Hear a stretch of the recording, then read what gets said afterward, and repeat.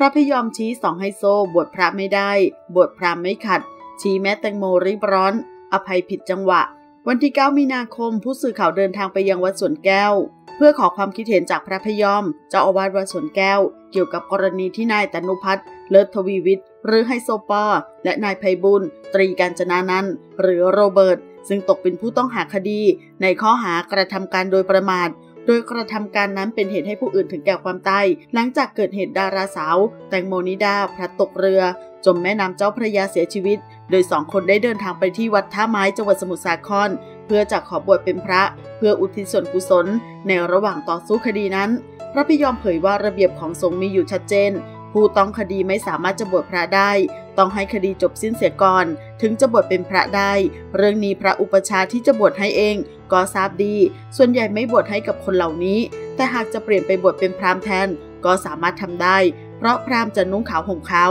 ถือแค่สินแปดเท่านั้น เป็นเรื่องที่ทำได้ แต่เมื่อถึงเวลาดำเนินคดีต้องมาพบเจ้าหน้าที่ พระพยอมกล่าวว่าเรื่องราวของแตงโมนิดาที่เกิดขึ้นนั้น คนส่วนใหญ่จะมองว่ามาจากความประมาทบ้าง หรือเป็นเหตุฆาตกรรมบ้าง แต่อาตมามองในมุมของพระ จะเห็นว่าต้นเหตุที่เกิดขึ้น เกิดจากอบายมุขสองข้อคือ ดื่มน้ำเมาเที่ยวกลางคืนยิ่งโดยเฉพาะเป็นผู้หญิงแล้ว ถ้ามีสองข้อนี้รวมอยู่ด้วยแล้ว เหมือนเกาะคุ้มกันตัวหายไปแล้วทำให้เสื่อมเป็นต้นเหตุของความเสื่อมทั้งหลาย พระพยอมกล่าวอีกว่าเรื่องที่แม่รีบร้อนจนผิดพลาด พูดเรื่องจำนวนเงินออกมาในรายการนั้น อาจเป็นเพราะความสับสนหรือไม่เข้าใจเรื่องราวทำให้รีบพูดออกมาไวไปหน่อย การให้อภัยเป็นสิ่งที่ดี หากทำได้จริง แต่แม่เองมาให้อภัยผิดจังหวะรีบร้อนไปหน่อย ขอขอบคุณข้อมูลจากข่าวสดขอบคุณค่ะ